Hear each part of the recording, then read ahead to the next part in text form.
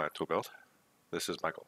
So in this video I wanted to bring up a common problem that I recognize in a lot of my students. Uh, if, you've been uh, familiar with my channel for very long, so before 2022, uh, I kind of had a hiatus there here where I didn't really make much content from my YouTube channel because I was teaching.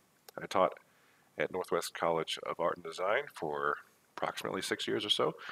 Uh, but then we relocated, and so I was no longer teaching there, so I thought, hey, let's bring back the YouTube channel. So that's what I'm doing now. But anyway, uh, one of the common problems I noticed in my students was whenever they were doing UVs. so UVs is a extensive topic. Um, so it's not something we're going to touch on in great detail in this video, but I wanted to bring up this one particular issue. So for example, here I have a cylinder. And let me bring up the UV editor from the UV menu here. So when doing UVs, and especially with cylindrical shapes. I have a particular method I like to use. Uh, this is obviously just a simple cylinder. It doesn't really need anything special to be done with it. But if it was something more complex, like a candlestick, or perhaps a uh, the handlebars of a motorcycle, or a steering wheel of a vehicle, or, or, or some sort of you know cylindrical tube-like shape. Uh, what I typically would suggest to my students for doing the UVs is a couple different methods, or steps I should say. So for example, I would select the object and go to create camera-based UV mapping. And when I click on this, it will project from my camera angle, you see here, I'm actually going to make this a little bit darker perhaps, and maybe see it a little bit better. The UVs are projected onto the cylinder from the same angle that my camera was looking at it, which that's not a big deal. What the purpose of that is it gets rid of all the UV seams that are currently in the object. So now I'm going to grab both caps and I'll cut those under the cut and sew menu cut and then I'll grab one of the vertical edges along or edge loops along the cylinder shape and cut that as well and then with all three of those cuts made two around the caps and one down the, the length of the tube. I can go over here to my UV toolkit, which you can find under the view menu, or sorry, not view, tools menu, show UV toolkit. Mine says hide right now because it's currently showing. Go to the unfold section and click unfold. And then it will spit out something like this, which is unfolding those three particular cuts that I've made into their own separate UV shells. I can grab this edge, I can say straighten shell, straightens it like so. And now I have my different UV components, and I can do other things to them.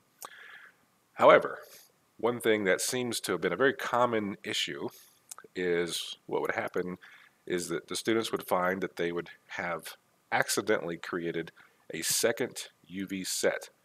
So really quick, let me just show you what that looks like. So here we have the cylinder. I went and did remapping, or sorry, the UV mapping process again. Uh, this time using kind of causing the mistake to happen on purpose. And so let's just say, just again, as an example, I wanted to bring this model into a program like Substance Painter. All right, so here we are in Substance Painter now, that same cylinder. But if I were to switch my viewport, you'll notice here that the UV layout that I'm getting for my cylinder, see here, these two large circles and then this little one in the middle.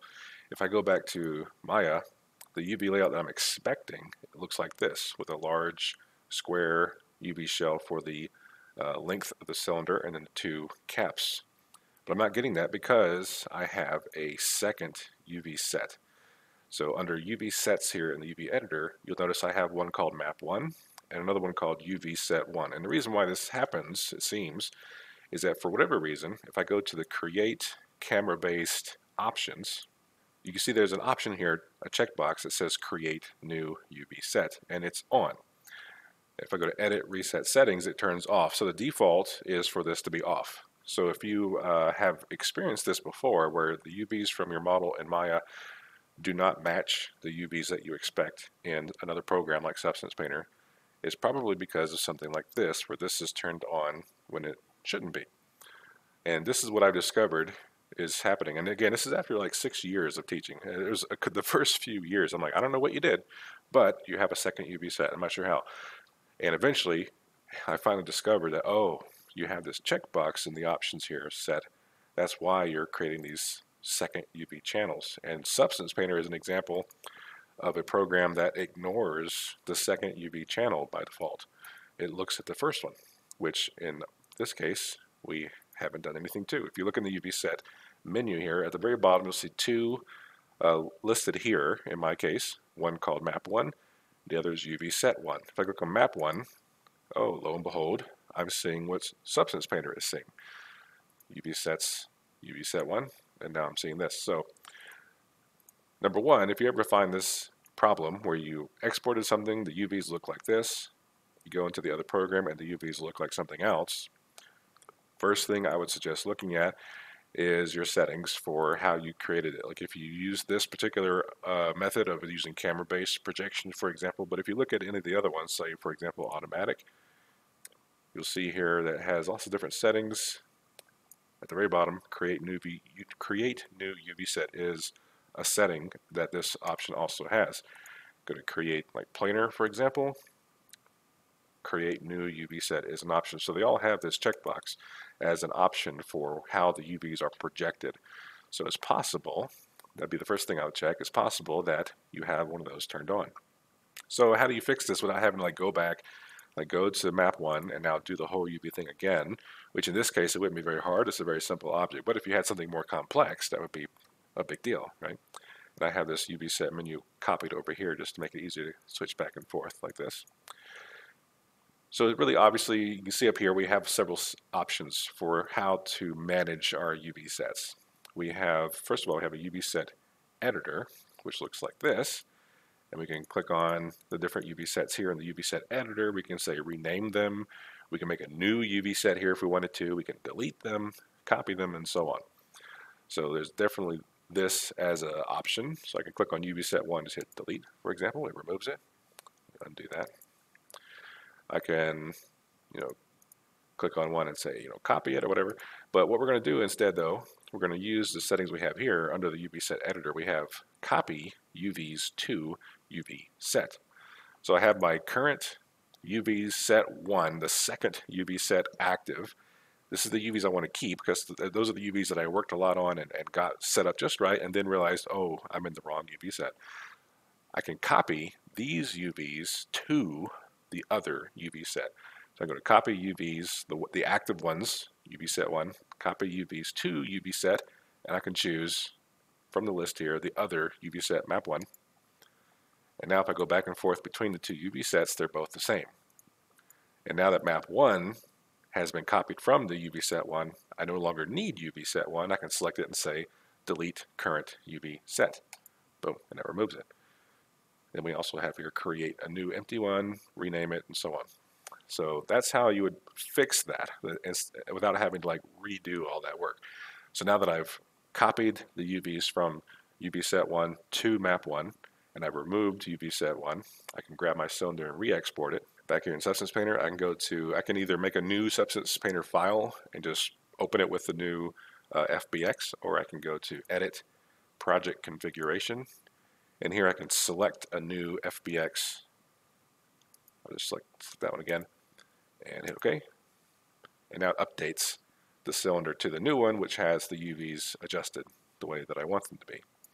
And I can do whatever. Okay, so just wanted to, to make this video because it was a very common issue that I've noticed. I noticed in my students over time. And again, it took me a long time. I shouldn't have taken me that long, but it did. It took me a long time to realize what was happening because all I just kept saying was, I don't know how you did this. You made a new UV set, but here's how you can copy. I did the whole, you know, copy from one UV set to another trick for them so they could see how to fix it. But I finally realized over time how it was happening to begin with. You know, it was they had this checkbox uh, active when they shouldn't have or didn't want to have. So again, just if you find this happening to you where all these UV sets are just randomly being created over and over again, go to, again, your options for how you're projecting. They all have create new create new UV set as a checkbox to, to select. Just make sure those turned off.